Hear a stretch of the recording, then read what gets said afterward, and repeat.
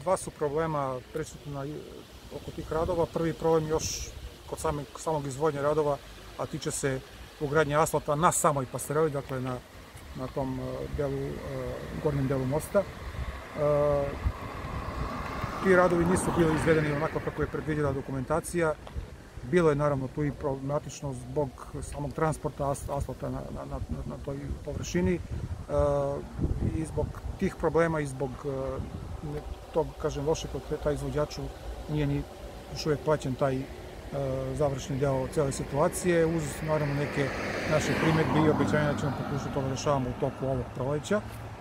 To još uvijek nije rešeno, ali kažem, ta, to, je, to je problem koji je prvi, koji na kraju kreva ovaj, možda fizički, odnosno vizualno izgleda taj asfalt lepo, ali je ovaj, stvarno, da kažem, dobro urađeno sa aspekta debljine tog asfalta i držat će sigurno ovaj, ta pasarela na taj način dugo vremena. A drugi problem je na ovim uh, uh, stepenicama i, i usponima.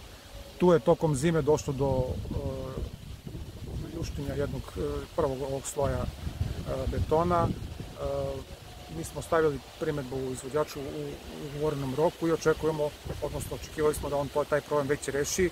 Izvođač ima neko drugo viđenje tog problema, tako da je u toku neka prepiska i uskoro treba očekivati jedan sastanak sa predstavnicima grada kao investitora da, da pokušamo da ta dva problema na najbolji način u interesu svih reši.